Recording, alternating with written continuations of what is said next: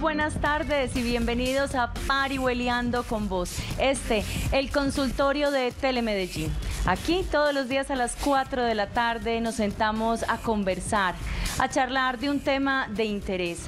Pueden ser a veces temas de salud, de salud mental, a veces hablamos de temas culturales, hablamos también de temas jurídicos o legales como lo haremos hoy.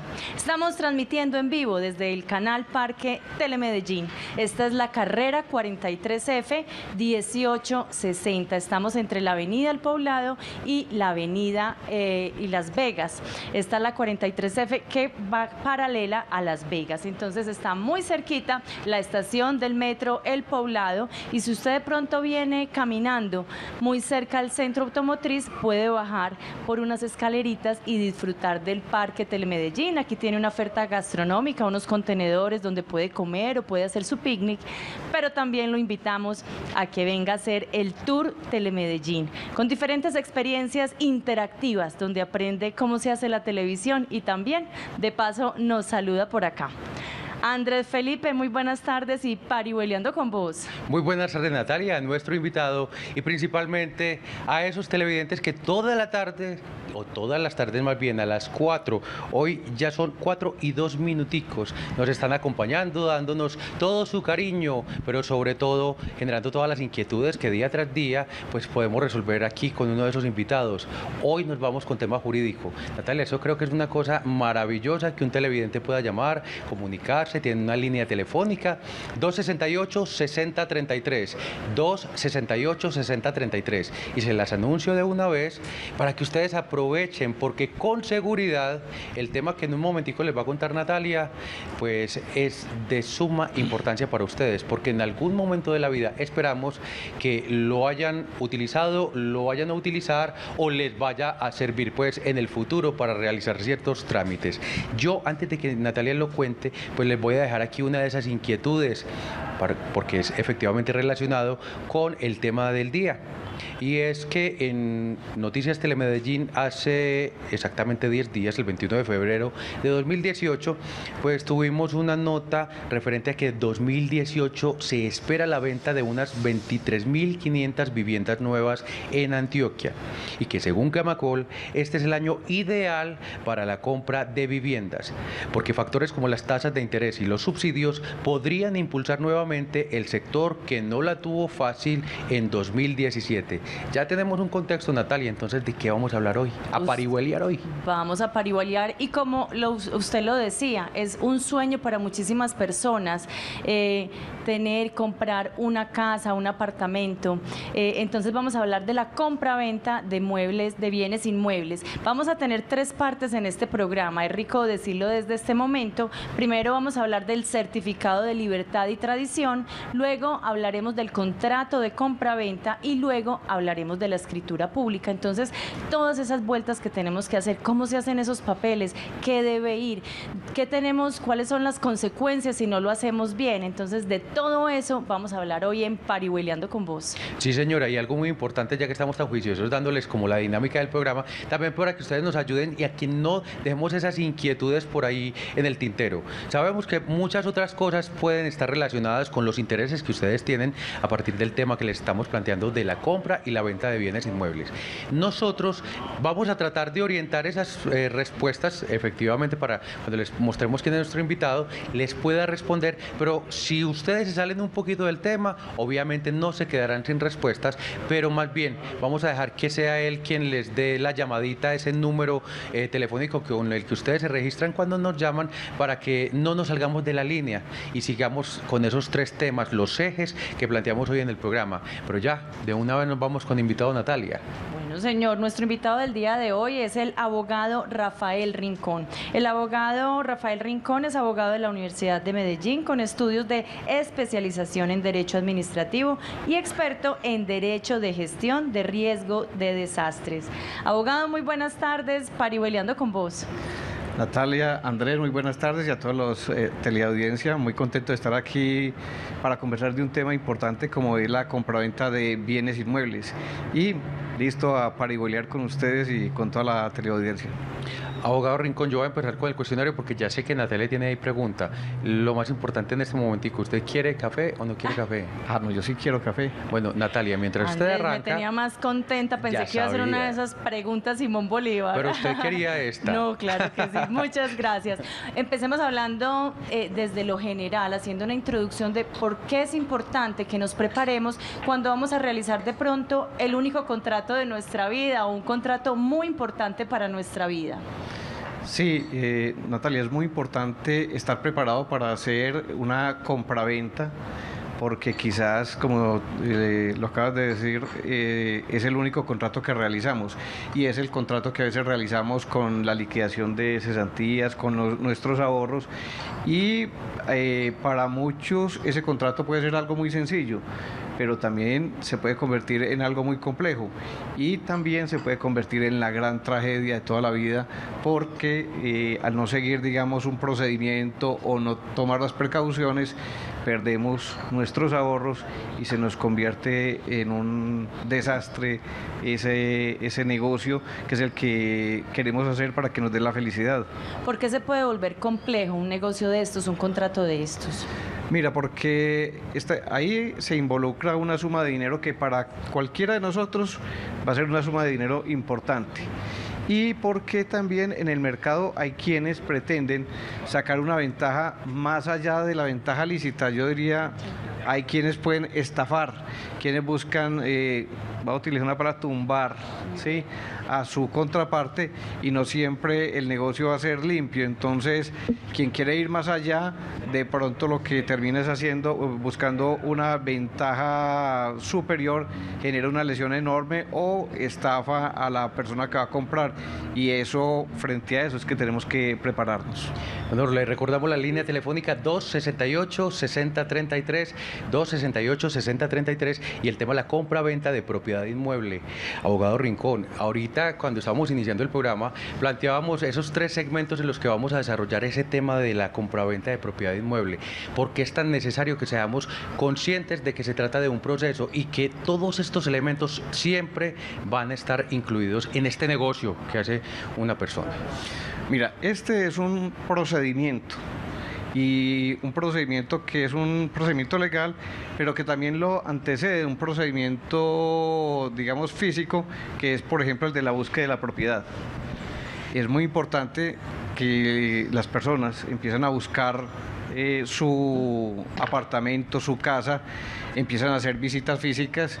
Eh, yo diría que la primera regla de oro acá es la prudencia.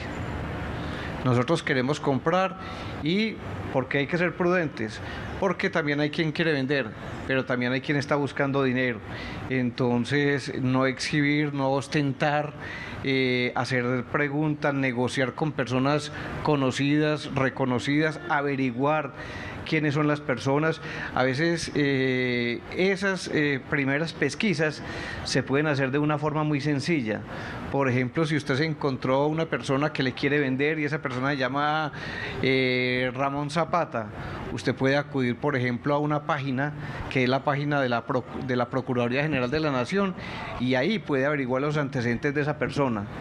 Usted a quien le está ofreciendo le pide la cédula de ciudadanía el nombre completo, introduce el número de la cédula eh, eh, al entrar a la página que es www.procuraduría.gov.co busca los antecedentes de la persona y ahí al introducir la, la, cédula le va a decir si esa persona, por ejemplo, tiene antecedentes penales o tiene antecedentes disciplinarios Y esa es una buena pista. O sea que ella Igualmente, estamos agilizando el trámite porque si no tenemos confianza en esa persona, pues no vamos a seguir las otras. No, si no se tenga se puede tener confianza o no confianza, eh, pero es bueno saber quién es la persona. Pero también puedes entrar a la página de la Policía Nacional. Y en la página de la Policía Nacional también con la cédula de ciudadanía puedes averiguar si esa persona tiene dificultades o si está siendo requerida. Ese es un primer punto eh, que yo creo que es un trámite que se hace en cinco minutos en un, en un equipo de cómputo y que nos va a dar una, una confianza para poder entrar a negociar con esa persona.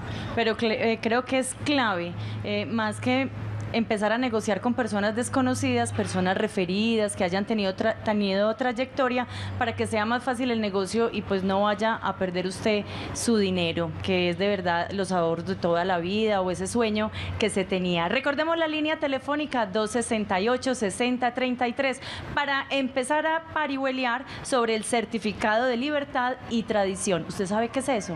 ¿Lo ha conocido? ¿Ha visto uno? ¿Lo ha hecho? Pues ya nos van a explicar todo. ¿Qué es el certificado de libertad? Libertad y tradición.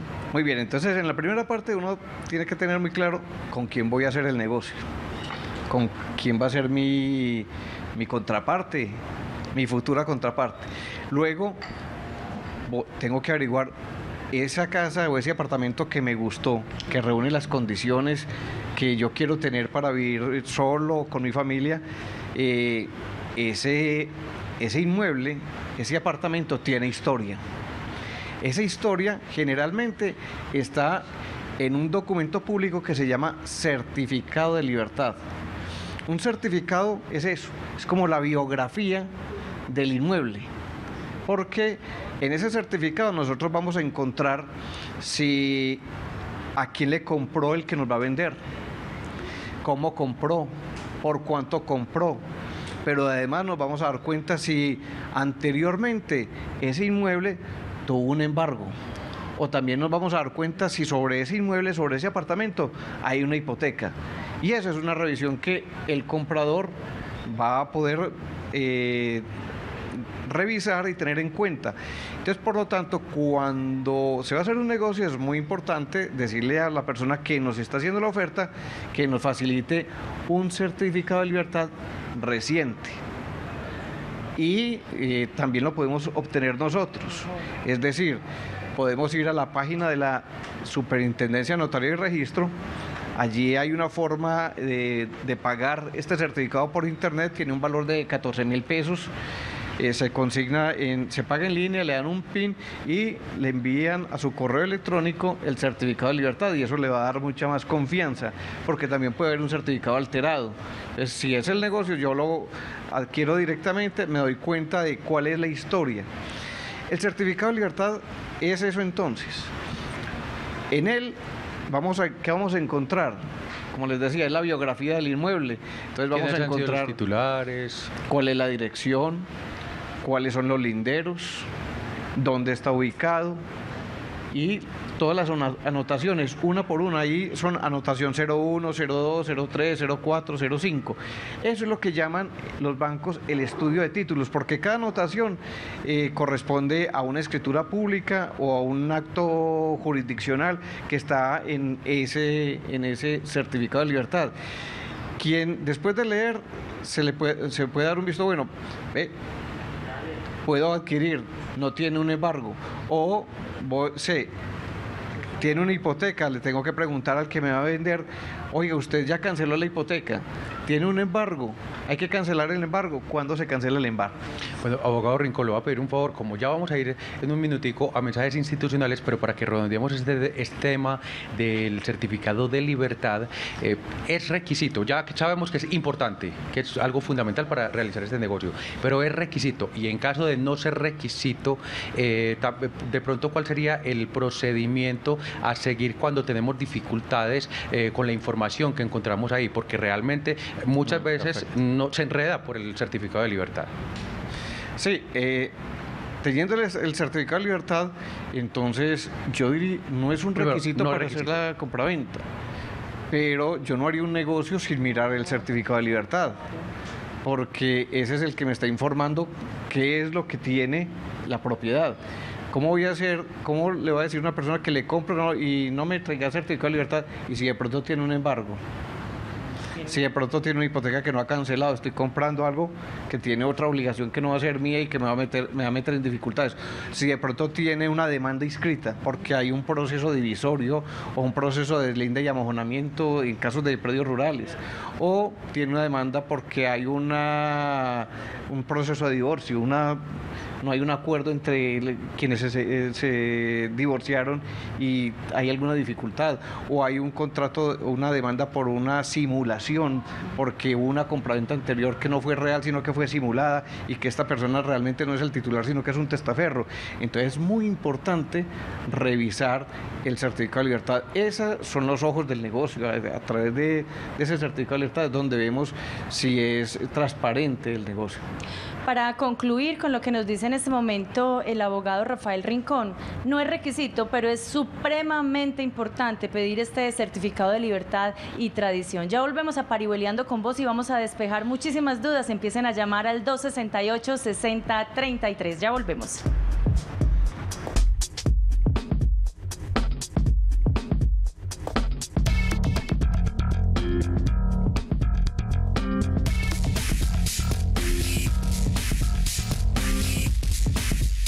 Estás viendo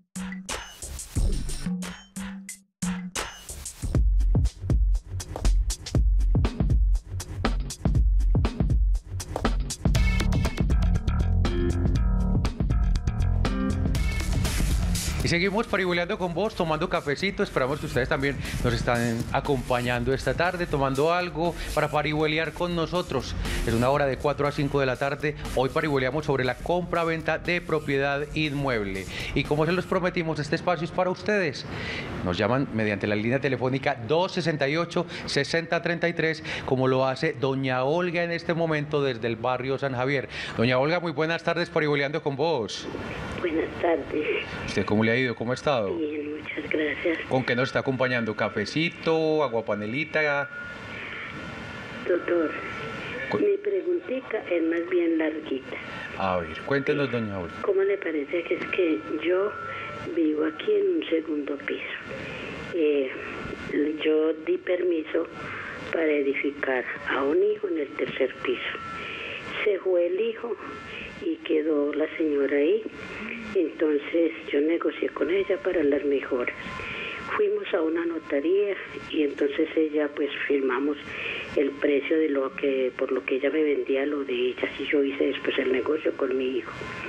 Entonces, cuando ya fuimos a la notaría, se dio el plazo para entregar, ella no, ella me incumplió y no quiso, entonces tuve que ir donde un abogado y resulta que se hizo los procesos, se hicieron tres y todos tres salieron a mi favor y le dijeron a ella pues que debía desocupar.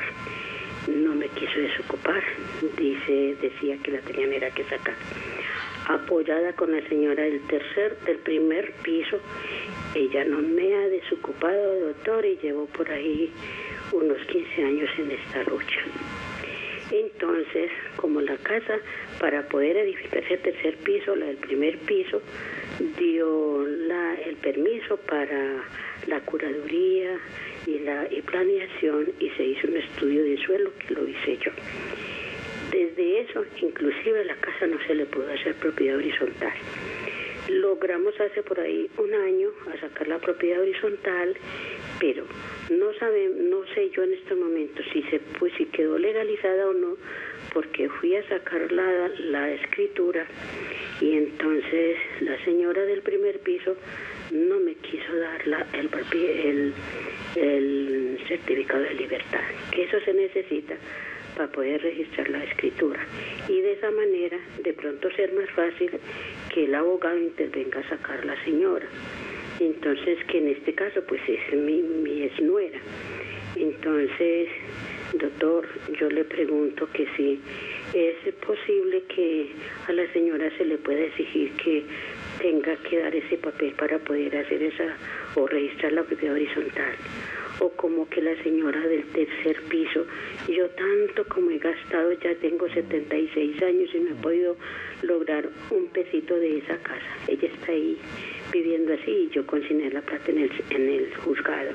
Entonces yo quisiera que usted, por favor, me diera una, una sugerencia o alguna asesoría que, que puedo hacer o ya tirar tranquilidad.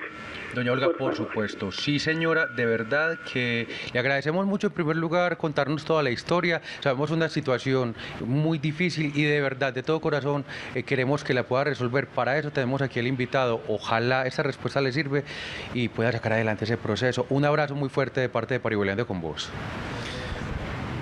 Muy bien, este caso que nos presenta doña Olga es más común de lo que eh, pudiéramos creer y es que eh, muchas veces las personas eh, tienen una propiedad de un primer piso y cuando crecen sus hijos le ceden de palabra la losa, el aire a sus hijos, a su hijo y a su nuera. Ellos conviven pero posteriormente el que se va es el hijo de, la persona y se queda la, la, que no era, ¿sí? La nuera. Y se presenta este conflicto que es el que ha tenido durante tanto tiempo doña, doña Olga. Ella eh, negoció las mejoras con la, con la nuera y al parecer cuando hizo ese negocio eh, la, otra parte no le cumplió, no le restituyó no le restituyó el inmueble. ¿Qué ocurre? que veo que ahora eh, la casa tiene primero, segundo y tercer piso. Ella ha tramitado eh, un reglamento de propiedad horizontal. Eso significa ¿Qué, ¿Qué, significa? Cuando se hace un reglamento de propiedad horizontal, la idea es, se hace con el fin de desenglobar, pero también de individualizar cada uno de los apartamentos. Es decir, que de ahí en adelante cada apartamento tenga folio de matrícula inmobiliaria independiente. Y eh, algo así como que cada apartamento es como si llegara a la mayoría de edad, ya tiene su cédula, su cédula propia, porque además va a tener cédula catastral propia y folio de matrícula inmobiliaria y queda individualizado. Ella vive en el primero, la otra persona está en el segundo y ella quiere recuperarlo, pero al parecer no ha culminado el reglamento de propiedad horizontal. Parece llego a entender que todavía no están individualizados. Y no están individualizados porque eh, no lo ha, no ha tramitado, tiene dificultad la señora del primer piso, es la propietaria, la que figura como propietaria de todo el globo, de, todo, de todos los tres apartamentos del, apartamento principal, pero como construyeron y los otros están informalmente, entonces la otra persona no le quiere hacer, eh, no quiere firmar el desenglobe y por lo tanto pareciera que ya no tuviera ni su, ni su apartamento ni tampoco el que le cedió a su, a su nuera. Ella decía ahí que, no le quiere facilitar el certificado de libertad, decía doña Olga en este caso, porque, eso es. Porque cuando desenglobe, entonces el apartamento 201 y el 301 queda cada uno con una cédula, con una folio de matrícula inmobiliaria. Y si ella quiere reivindicar, pues ante un juzgado tiene que decirle, vea, yo quiero reivindicar el apartamento que tiene tal folio de matrícula inmobiliaria, ¿sí? Que es donde está viviendo la nuera. ¿Qué es reivindicar? Es volver a recuperar esa propiedad ese dominio. Reivindicar es traer para que ella recupere la propiedad. Eso es reivindicar. Y no lo ha podido hacer ni ha podido eh, obtener la restitución del inmueble debido a la falta de este, de este documento. ¿Qué debe hacer? ¿Qué debe hacer? Tiene un camino muy largo porque imagínense, la, quien tiene que, eh, tiene, que o demandar a la señora o adelantar procesos de pertenencia para que ella, para que a ella, que es poseedora al parecer del segundo piso, la declaren del segundo y del tercer piso, la declaren dueña y ya cuando la declaren dueña, ya ahí sí poder de, volver a recuperar la, la, propiedad. Abogado, rápidamente, ¿qué clase de demanda debe hacer ella? Eh, son demandas civiles. Son demandas civiles que ya ha estado adelantando, pero que todavía no le han dado el resultado. A doña Olga le recordamos que en las universidades como la Universidad de Medellín o la de Antioquia también hay asesoría eh, gratuita, abogados que están allá eh, para que le ayuden entonces a recuperar eh, su vivienda. Mucha suerte, doña Olga. Hablemos, devolvámonos un poquito a ese certificado de, eh, de libertad y tradición. Usted nos estipulaba, por ejemplo, nos decía que puede que haya un embargo, una demanda, miles de cosas. ¿Cuál es la consecuencia real? Que le quiten a uno la casa, así uno tenga los papeles, las escrituras a nombre de uno, puede venir otra persona a decir, no, esto estaba hipotecado y, er, era mío o, se lo vamos a embarcar. ¿Cuál es como bien facilito para la gente qué es lo que puede pasar si uno no tiene este certificado? El certificado es un documento, reitero, donde está toda la situación jurídica del inmueble. En ese certificado, entonces encontramos registrados, inscritos las hipotecas, los embargos, las demandas que tiene el inmueble. Cuando la persona, ese certificado que es público, cuando la persona adquiere un inmueble que tiene una hipoteca, entonces partimos de que ella conoció que tenía la hipoteca y aceptó que tenía esa hipoteca. A no ser de que en la escritura esté manifestando que no se hace cargo de esas obligaciones y que en las cláusulas de saneamiento no eh, acepta, admite las, eh, los registros que tiene la propiedad. ¿Qué es, para hablar un poco también más claro de, digamos, para, eh, quisiera explicar lo siguiente. ¿Qué es un embargo? Para, para muchos puede ser eh, normal, pero un embargo es que la propiedad la sacaron del comercio. Cuando yo digo que un apartamento está embargado es porque ese apartamento no se puede, no puede ser enajenado, salió del comercio. Y ni vendido, ni comprado, nada con él, ningún negocio con ese apartamento. Exactamente. Entonces, un, llega un, por ejemplo, un juez, le dice inscribe, eh, ordena el embargo de un apartamento.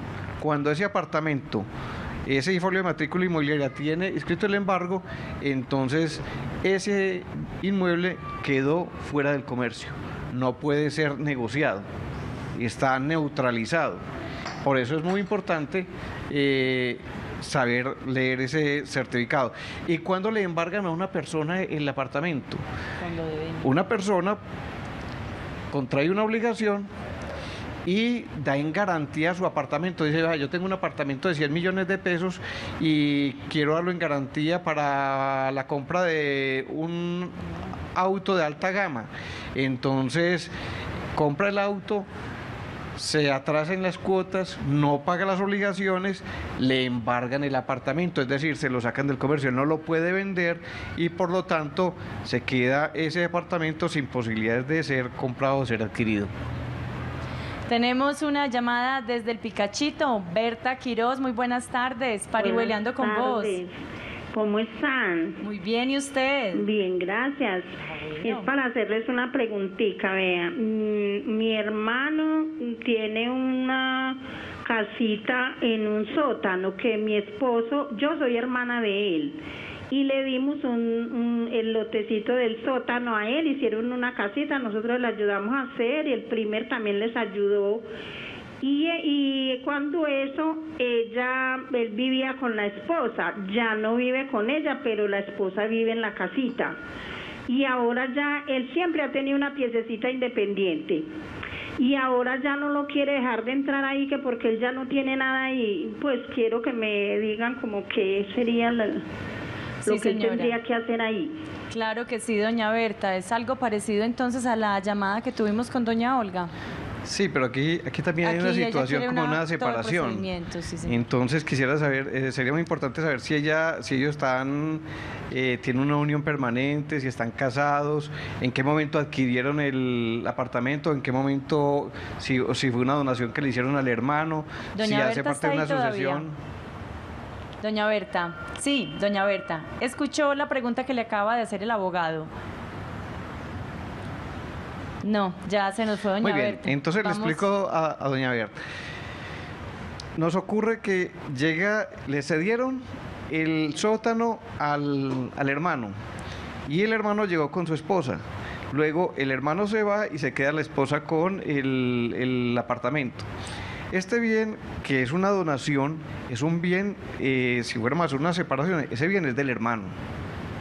Ese bien eh, pertenece al hermano, llega, entra a su patrimonio a título gratuito, no es un bien de la sociedad conyugal, voy a partir de que estén casados o que tengan una unión marital de hecho, ese bien pertenece al hermano, por lo tanto él podría eh, instaurar también la respectiva acción eh, civil con el fin de obtener, recuperar o la posesión, si es que todavía no está a nombre de él, o obtener, recuperar el dominio, se llama una acción reivindicatoria para eh, volver a, para eh, retomar, digamos, la propiedad de ese apartamento. Bueno, les voy a dejar una propuesta. Ya vamos a avanzar con el tema de la promesa de compra-venta y solamente nos va a quedar una inquietud más para que la redondeemos cuando volvamos de mensajes institucionales. Y es para que hablamos, porque usted mencionó que a veces esos certificados de libertad habrían personas que nos les podría entregar eh, un certificado de libertad falso. Entonces, ahorita vamos a hablar de eso muy brevemente para que continuemos con entonces con los otros temas. Ya saben, tenemos preparado, previsto para el siguiente segmento, la promesa de compra-venta. Estamos hablando de la compra-venta de propiedad inmueble en Parihueliando con vos. No se muevan de sus televisores que nos demoramos un minutico y ya regresamos después de los mensajes institucionales.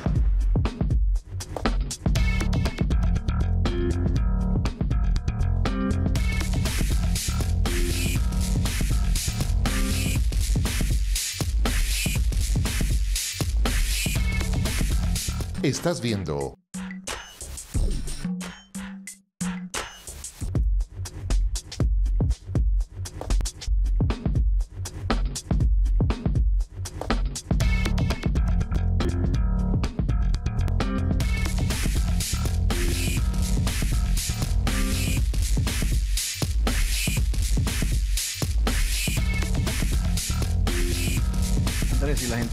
Y seguimos por igualando con vos. Hoy lo hacemos sobre la, compra-venta de propiedad inmueble. Recuerden que tenemos abierta la línea 268-6033. 268-6033. Pero antes de recibir la llamada y de continuar con esos temas que habíamos iniciado o propuesto, más bien desde el inicio del programa, abogado Rincón, no habíamos dejado algo pendiente del segmento anterior para que ya finalicemos con el tema del certificado de libertad. También en uno de los segmentos usted nos dijo, no, es que muchas veces pueden estar alterados, pueden ser que no sean reales esos certificados que nos entregan, ¿cómo así que no son reales y qué deberíamos hacer en ese caso antes de recibir esta llamada? Sí, yo creo que una precaución que debe tomar todo comprador es eh, obtener el certificado de libertad. Y hoy es muy fácil, hoy es, eh, se puede acudir o a la oficina de registro de instrumentos públicos, aquí en Medellín hay dos en la, en la Alpujarra hay una y en el pasaje El Paso está la otra. Eh, acudir a la oficina de registro para obtener el certificado de libertad que se lo entregan inmediatamente o acudir a internet a un equipo de cómputo y obtener ese certificado de libertad eh, directamente con el fin de no ser engañados. Esa precaución nos cuesta 14 mil pesos y nos va a ahorrar un dolor de cabeza. No se deje engañar, ese es el mensaje. Saque usted el certificado para que no le entreguen uno falso. Tenemos una llamada desde Bello, Francisco Ramírez. Muy buenas tardes, parihueleando con vos. Mm, muy buenas tardes para todos. La pregunta mía para el abogado es que eh, yo tengo yo tengo un apartamento, un segundo piso y está con su escritura, con, con todo pues en orden, sus planos, todo. Y construí un tercer piso, igual tengo licencia de construcción. Pero entonces resulta que eh, los apartamentos míos hacen parte de un edificio que se compone en el primer piso de vivienda, pusieron una chatarrería y hay un local. Y el, y el segundo piso está conformado por la propiedad mía más otra propiedad que está construida en su totalidad. Yo quiero desenglobar el tercero del segundo para colocarle servicios públicos al tercero. Entonces me dijeron que tenía que sacar el, régimen de propiedad horizontal de todo el edificio pero entonces el problema mío es que yo no la voy con unos del primer piso. Entonces me dijeron, fíjese, sáquele copia a la escritura, sáquele, yo hice todas las vueltas y resulta que los del primer piso tienen el 50% de copropiedad y yo tengo el otro 50% de copropiedad del edificio. Entonces me dijeron que no, que había que ajustar el 70%. Entonces que yo tenía que recurrir a ellos para que me firmaran. ¿Qué me puede decir al respecto el abogado? Y muchas gracias. A usted, don Francisco, muchas gracias por comunicarse con Parihueliando con vos. Abogado, ¿qué le podemos decir a don Francisco? Sí, don Francisco, eh, cuando se es propietario no puede ser titular de un apartamento o de una propiedad de manera individual o lo puede o puede llegar a hacerlo con otra persona.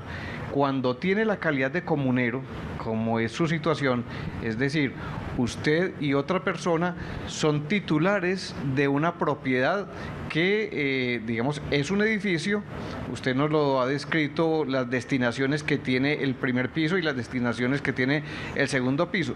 Si bien actualmente en la realidad cada uno tiene, ejerce un dominio sobre los bienes que posee, en, el, en la Oficina de Registro de Instrumentos Públicos ustedes figuran como comuneros de un solo edificio. Por lo tanto, hay que sacarle eh, folio de matrícula inmobiliaria a cada copropia, a cada inmueble y eso es lo que significa desenglobar, darle individualización a cada uno de los inmuebles que están ahí.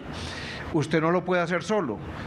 Usted tiene que, ese, ese proceso tiene que hacerlo los copropietarios. Y para poder tener, eh, eh, para poder hacerlo, entonces usted tiene que buscar eh, un común acuerdo, tiene que hacerlo convencer, digamos, a ese otro comunero con el fin de desenglobar. De otra manera, va a ser muy difícil y la tocará a usted entonces es recurrir a un proceso divisorio para que por compraventa por venta, no por división material, le adjudiquen a usted un, eh, ese, una parte estimada en una suma de dinero y la otra a la otra persona también una suma estimada en dinero porque no hay un acuerdo para desenglobar. Lo mejor para todos sería desenglobar y llegar a ese común acuerdo. Eh, usted nos ha manifestado que no hablaba con él, pero en este caso le corresponde y el mejor camino, la vía más rápida es lograr esa conciliación para obtener y mejorar la propiedad. Abogado Rincón, yo creo que ya es hora de que vamos avanzando con el tema porque tenemos todavía eh, mucho por decir y muy poco tiempo eh, para los cortes además. La promesa de compraventa, porque no avanzamos un poquito antes de que recibamos llamada telefónica, ¿qué es la promesa de compraventa? Bueno, mire, ya sabemos con quién vamos a negociar. Ya miramos en, la página web de la Procuraduría, en la página web de la Policía Nacional, ya vimos eh, en qué situación se encuentra el inmueble y parece que las cosas van muy bien, tenemos el semáforo en verde para seguir negociando y entonces vamos a hacer una promesa de compraventa. ¿Qué es una promesa de compraventa? Eso es un, contrato. Es un contrato que tiene una formalidad y es que debe ser escrito. en otras, eh, yo tengo que llegar a un acuerdo, pero ese acuerdo tiene que quedar por escrito, no puede ser de palabra. ¿Y en qué consiste esa promesa de compraventa? Como su nombre lo dice, es ponernos de acuerdo sobre otro contrato que vamos a hacer en, un futuro. ¿Y en qué consiste ese, ese, ese ¿Qué contenido tiene esa promesa de, de compraventa? Pues simplemente cuando lleguemos nos vamos a identificar quién es el comprador, quién es el vendedor. Aquí en esta promesa se llama, el uno es el que, el que promete, promitente, vendedor, y el otro un promitente comprador. ¿Y qué van a decir? Van a decir en ese, en ese documento, queremos, queremos y vamos a realizar una compraventa de un apartamento o de un bien inmueble. Van a decir cuál es el apartamento, lo van a describir. ¿Cómo lo van a describir? De acuerdo con el certificado de libertad. Es decir, exactamente los linderos tienen que ser iguales ahí en la promesa de compraventa van a decir cuál es el folio de matrícula inmobiliaria, que es algo así como el número de la cédula del, inmueble. Van a decir cuál es la cédula catastral.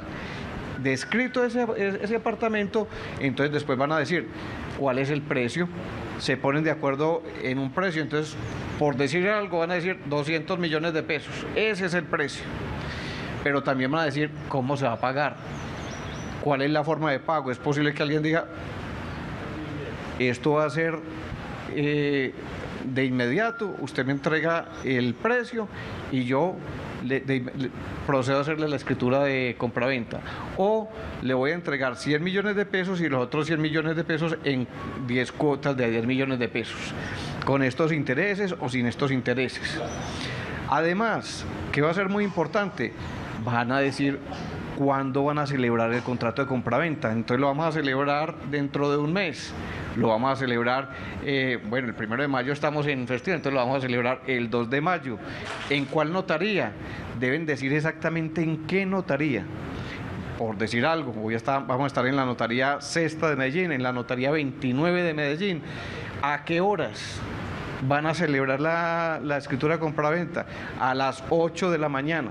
¿Y por qué es importante esto? Porque el día que llegue el momento de hacer la, hacer la negociación, tendrán que estar las partes a esa hora en esa notaría.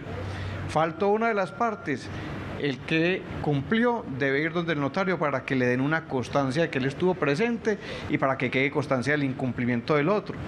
¿Qué más va a contener? ¿Qué más va a contener? Una posible cláusula penal. ¿Qué es una cláusula penal? Una cláusula penal es que cuando alguien le incumple a uno le genera perjuicios. Entonces la cláusula penal es algo así como una, una tasación anticipada de los perjuicios que puedan eh, derivarse de ese incumplimiento. Entonces se fija una tasa penal que va a ser del 10%, del 15%, del 20% del, del precio de la compraventa. Y algo también muy importante que genera mucho ruido cuando se hace la promesa de compraventa, es muy importante decir, porque a veces los negocios se dañan por, por minucias. Oiga, el comprador le dice al vendedor, ¿quién paga los gastos de notaría? ¿Los vamos a pagar por mitades o los paga usted? ¿Quién paga los, eh, los eh, gastos de registro? ¿Quién paga los impuestos? ¿Quién paga la retención en la fuente? La valorización. ¿Quién paga si hay valorización? ¿Quién paga la cancelación de una hipoteca? ¿Quién paga la cancelación de un embargo? ¿Quién hace las vueltas? ¿Quién va a pagar la comisión si hay un intermediario en ese, en ese negocio? Ese es el contenido de una promesa de compraventa. Usted ahorita nos cuenta si para realizar una promesa de, contra, eh, de compraventa hay que ir a la notaría a hacerla ya o si se necesita de un abogado. Pero espérenos un momentico porque ya está don Óscar Osorio desde el poblado eh, con esta llamada. Muy buenas tardes, parihueleando con vos. Buenas tardes, ¿cómo le va? Muy bien, ¿y a usted? Adelante, don Óscar. ¿Aló? Sí, adelante. Sí, yo quiero hacer una preguntita al abogado de la siguiente forma. Sí, señor, eh, adelante. Yo tengo una propiedad de 30 años de antigüedad. La propiedad la compré en su momento por 1.900.000 pesos en la época hace 30 años. El impuesto predial está en 117 millones de pesos y la voy a vender por 280 millones de pesos. Quiero saber, dentro de esas tres cifras, yo tengo que pagar una ganancia ocasional y cuánto es el porcentaje de la ganancia ocasional.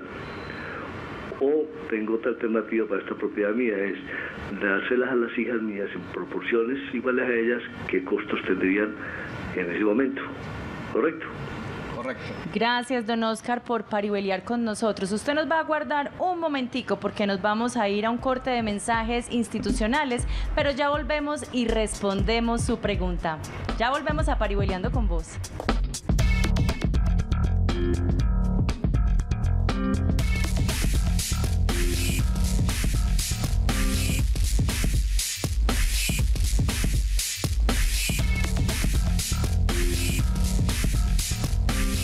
Estás viendo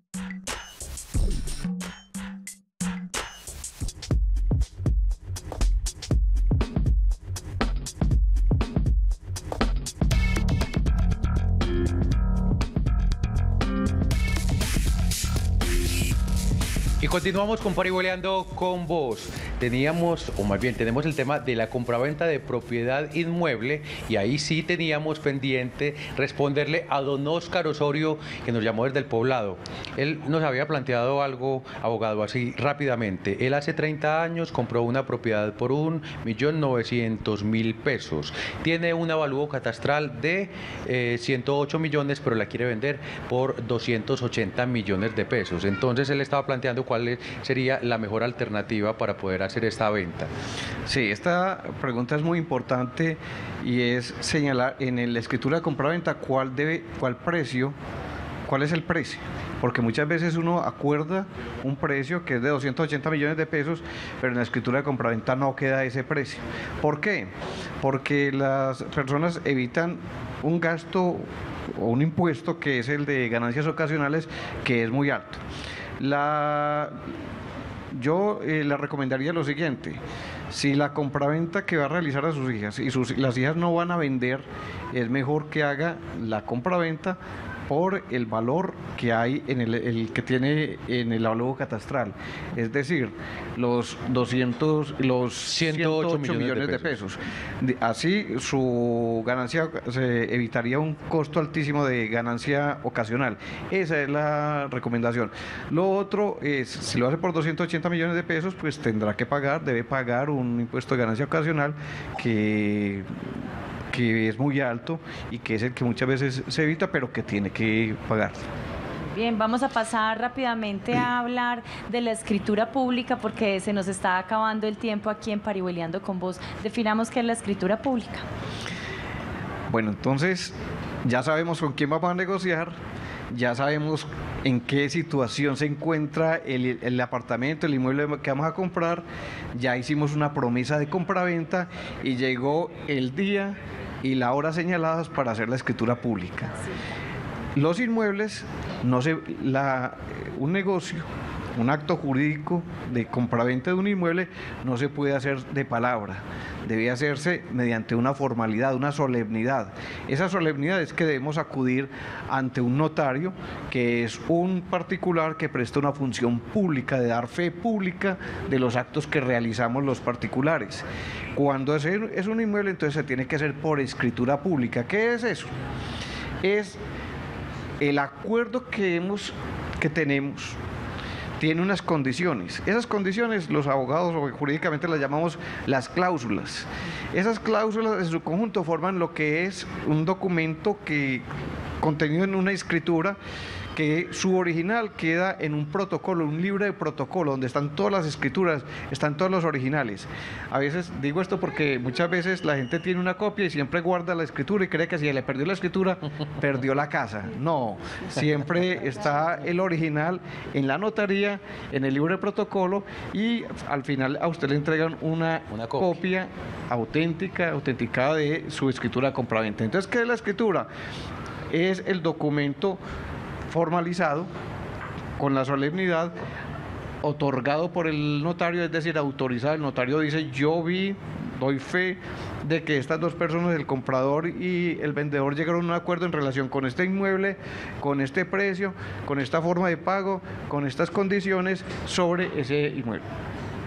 Esa escritura, que generalmente eh, la vemos, tiene, tiene una si quiere, exactamente. Yo traje una de, muestra.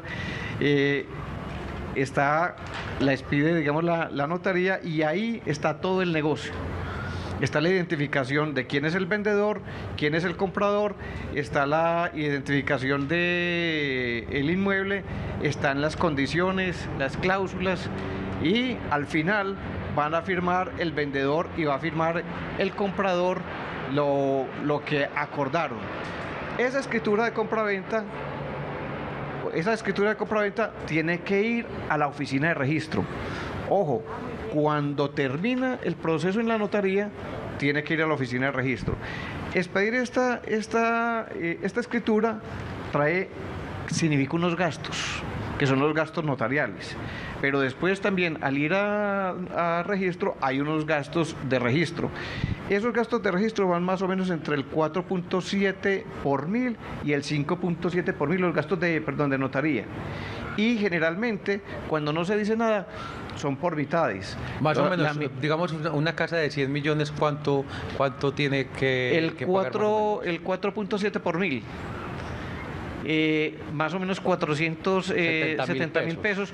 pero a eso hay que agregarle también el valor de las copias, el valor de los folios, eh, otros valores adicionales, pero puede estar, digamos, en 500 mil pesos. De alrededor de 500. Los gastos notariales. ¿Eso cómo se, se paga? Si no se dice nada, la mitad del comprador y la mitad el vendedor. Cuando va a notaría hay que pagar también los gastos notariales. El, perdón, cuando va a registro hay que pagar los gastos de registro. ¿Qué es ir a registro? Es que en el certificado de libertad anoten la escritura para que quede, digamos, esa biografía del predio, la, este negocio. Esos gastos de, de registro son el 100% del comprador pero las partes pueden acordar que tengan otra forma, puede ser 50-50, pero si no se dice nada, los debe pagar el eh, adquirente del inmueble. Abogado, pero esto es un documento, como usted decía ahorita, muy solemne, es escrito pues muy bien. Entonces, la gente cómo se asesora, con quién debe estar, es solamente los vendedores que los, las personas que venden el inmueble o uno debe estar contratar un abogado. Eh, además, para llegar a esa cita, uno llega prácticamente con el documento o se en la notaría a redactarlo. Bueno, es muy importante siempre, eh, mi opinión, que la persona esté asesorada esté asesorada por un profesional eh, que no necesariamente tiene que ser un abogado. Un abogado puede conocer, pero también hay personas que tienen, hacen una excelente asesoría en compraventa de propiedad raíz. Están las eh, agencias inmobiliarias que eh, son profesionales en, este tipo de negocios y a las cuales yo sin duda siempre le recomiendo a una persona acude a una agencia para que le presten una asesoría profesional. Es muy importante y deben llegar a una notaría que es la que presta este servicio. Eh, en la ciudad hay cerca de 40 notarías que prestan este servicio. En la notaría hay una persona que se llama el protocolista. Ese protocolista es el que el primer asesor, que también le puede dar una buena información. Eh, y a través del protocolista se llega a redactar, digamos, la, escritura de compraventa. Generalmente uno lo se hace previamente, se llega a la notaría con eh, la escritura elaborada y con eh, hecha por una persona de mucha confianza. Abogado Rincón, ya nos queda un minutico de programa, pero necesitamos sus conclusiones y sobre todo esas reflexiones o recomendaciones para los televidentes de Parihueleando con vos que de pronto están pensando en la compraventa de propiedad inmueble. Entonces, primero, hay que saber con quién se va a negociar conocerlo. Segundo, tengo que saber que lo que va a comprar, eh, tener a la mano un certificado de libertad.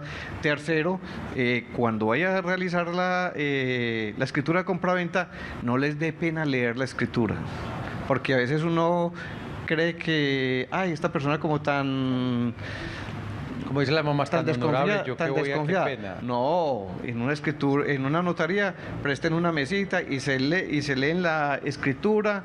Eh, colóquele un chulito o un asterisco donde tengan preguntas vaya y, y, personas lo leen mejor. Y pregunten, no les dé pena leer primero y firmar después. Además, perdón, porque tiene muchos detalles, que muchas veces aparece un número que no estuvo bien copiado, la cédula número de la cédula es lo más común. A veces, y vea un error que recientemente ocurrió, la persona era casada y dijo que era soltera y sin sociedad conyugal y después para la sucesión, para la liquidación de la sucesión, es un problema. Entonces, no es tanto porque a veces se llama la fe, sino porque hay errores también, los seres humanos nos equivocamos. Muchísimas gracias, abogado Rafael Rincón, por estar con nosotros en Parihueliando con vos. A todos ustedes, mucho cuidado cuando vayan a comprar un bien inmueble. Lean muy bien, tengan mucho cuidado, no se dejen engañar. Muchas gracias por estar conectados con nosotros en Parihueliando con vos, Andrés. Sí, señora, hora de despedirnos. Como usted dice, agradecerle a nuestro invitado, pero también a los televidentes que nos acompañan todas las tardes de 4 a 5 de la tarde en Parihueliando con vos por Telemedellín siempre con vos.